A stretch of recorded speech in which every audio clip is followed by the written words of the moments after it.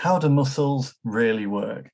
In this video, I'll explain the sliding filament theory of muscle contraction, as well as the effects of muscle length and rate of shortening on muscle force capabilities. Muscles are made up of small bundles of muscle fibers called fascicles. And muscle fibers contain contractile organelles called myofibrils, with all sarcomeres arranged in series.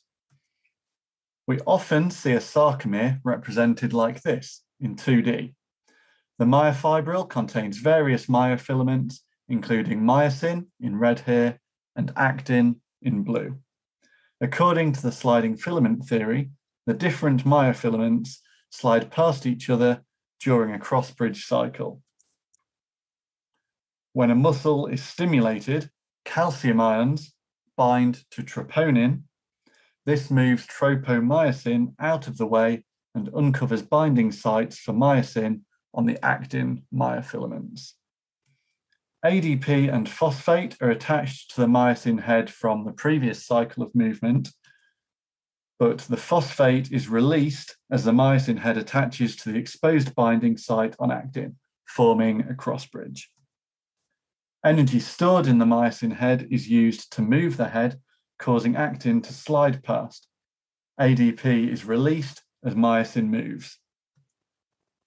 The actin-myosin bond is broken when an ATP molecule binds to the myosin head, and this ATP is broken down into ADP and phosphate, releasing energy, which is stored in the myosin head and will be used later for movement.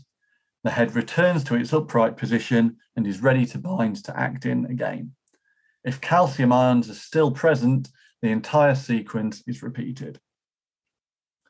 In reality, muscles are not two-dimensional.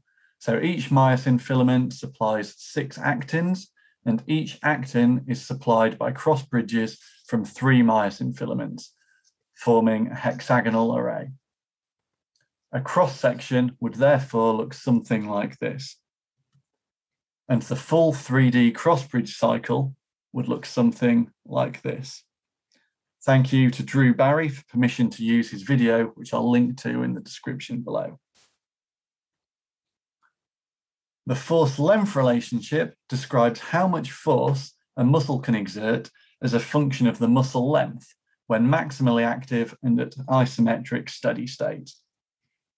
This relationship is at least partly dictated by the overlap between myosin and actin filaments, and hence by the number of possible cross bridges that can be formed.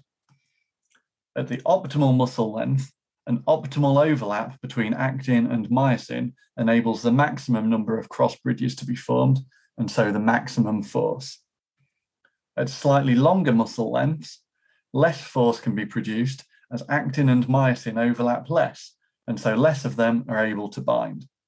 When there is no actin and myosin overlap, there is no active force as the myosin heads cannot interact with actin anymore. On the opposite end of the relationship, as the muscle decreases in length, the filaments can become more closely packed and are able to form fewer cross bridges. The terms ascending limb, plateau region, and descending limb are often used to describe the various regions of this relationship. In addition to the active force-length relationship, it should be noted that the passive tension in muscle, shown here in blue, increases when stretched beyond resting lengths. The force-velocity relationship describes the maximum steady-state force a muscle can exert at optimal fascicle length as a function of its rate of shortening. Concentrically, maximal force decreases at increasing rates of shortening, this is believed to be caused by both the increasing likeliness of actin and myosin pairs passing each other without forming cross bridges, and the increasing proportion of cross bridges that will not be disassociated in time, generating a force in the opposite sense of muscle shortening. The maximal velocity of unloaded shortening is found at the point where negative forces equal positive forces, and so net force is zero.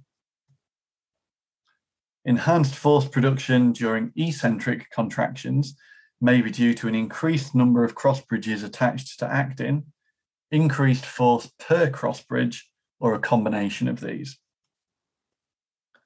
We've seen that as concentric velocity increases, force decreases. This means that power, which is the product of these two variables, is greatest somewhere in the middle, where there is a moderate force multiplied by a moderate velocity, rather than one of the two values being low.